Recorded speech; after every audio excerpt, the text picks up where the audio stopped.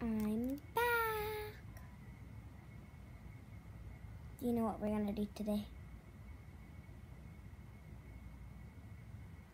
You're guessing it's drawing again, right? Well, guess what? We're not drawing today. We're doing something much more different. It's still art, but it's different. First, move your drawing board away. Actually, no, you still need your drawing board. Get your piece of paper. This time, get some scissors. Cut the paper into a square.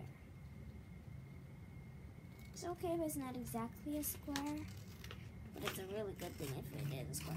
And if you have any origami paper, that's good too. First, you cut it into a square.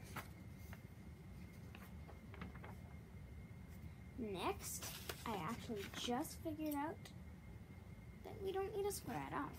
It needs to be a normal piece of paper. So you can just cut it again into a rectangle. We're making a mini one today. First, we're just going to say that you don't want. And then get your drawing board or the table and put it flat on the ground. Well, drawing board and table. Just like this. If you can't see, I'll show you right now. Couple of need. We need you to see what I'm doing so you can follow along. This is actually very easy. We're just making a paper airplane, but it's in advanced. First, you fold it in half the long way. Get this flap and fold it in, just like a normal paper airplane.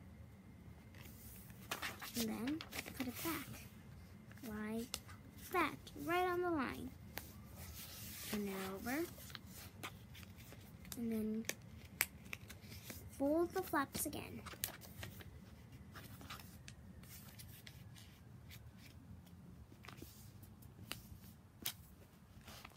And then you fold this one on top.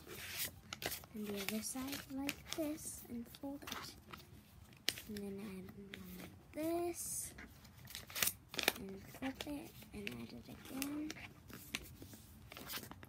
And play when you're done. You can decorate it too. But I like to leave mine more plain. And then fly away. Have fun with your airplanes. Bye.